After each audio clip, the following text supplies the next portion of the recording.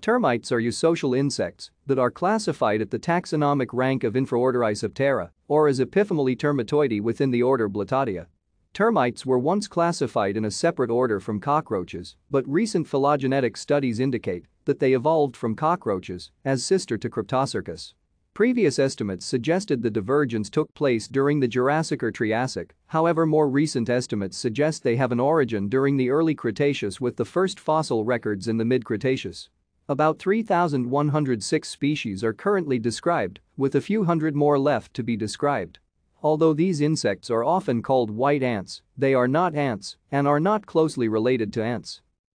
Like ants and some bees and wasps from the separate order Hymenoptera, termites divide as workers and soldiers that are usually sterile. All colonies have fertile males called kings and one or more fertile females called queens. Termites mostly feed on dead plant material and cellulose, generally in the form of wood, leaf litter, soil, or animal dung. Thank you for watching. Like and subscribe if you would like to view more of our videos. Have a nice day.